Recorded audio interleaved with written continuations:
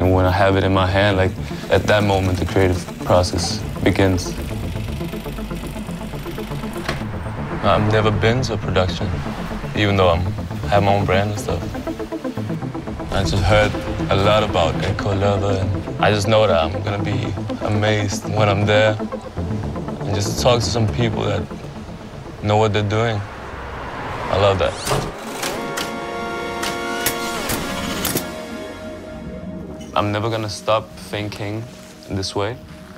Through clothing and through upcycling is it's a bigger picture and like I can kind of tell my story through that. In my own process in my life, I, I wasn't feeling good and I was kind of struggling with who am I and what do I want? Why am I not feeling good right now when I have so much going on? And when I felt unhappy and, and not on the right track, I needed to do something about it. To just be honest with myself, I needed some time to recenter myself and find that balance. And that process has been super important for my journey. The trip to ECCO Leather, it just came in, in a good time. I'm back on my feet and I'm ready to take all that in.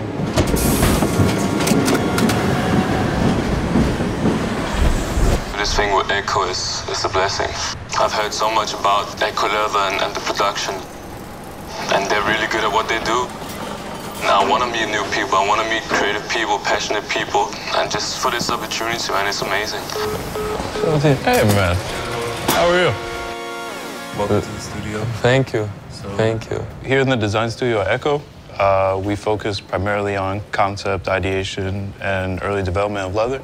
So if you look around you, you'll see a bunch of different examples of some of the processes that we use to create these final leathers, whether it be different foils to create shines or embossing techniques that give 3D patterns to leathers. Uh, we come up with early ideations and ideas, do a lot of testing and prototyping, and then pass those ideas off to the R&D, who help us bring those final tests to life in the form of final leathers.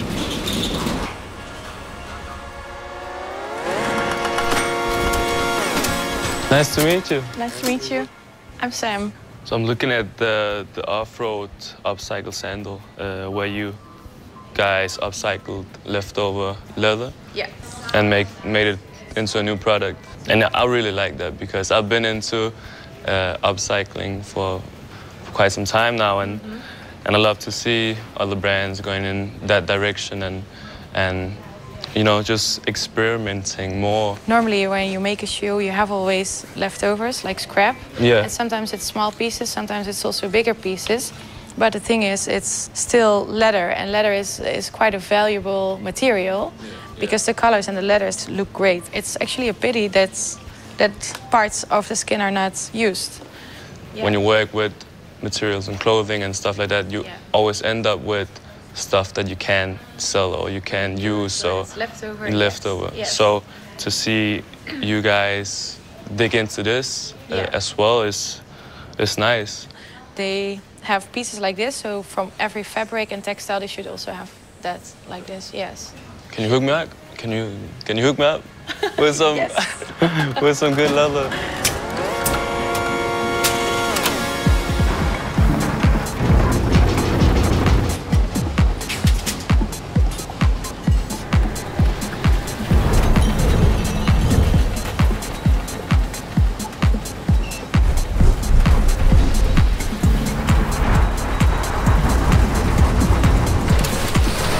So many variations of color and it's like- crazy. The creative process has changed a lot, uh, producing clothing, and then from that to upcycling.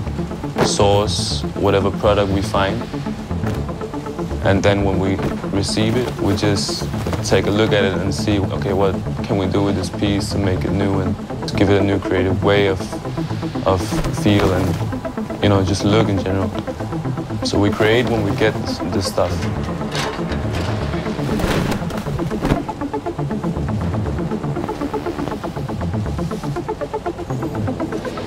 When you see the end product, you don't think about the process like that. And I think that's the that's the fun part about this journey.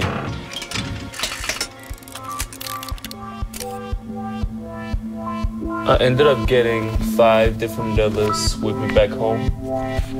Um, and my first thought was to make a leather vest using the different leathers in a patchwork design. I'm not as technical as them, so for me, I just design of my feelings. It's like, okay, let's try this. If it feels right, then it's right for me. Do it feels right for you.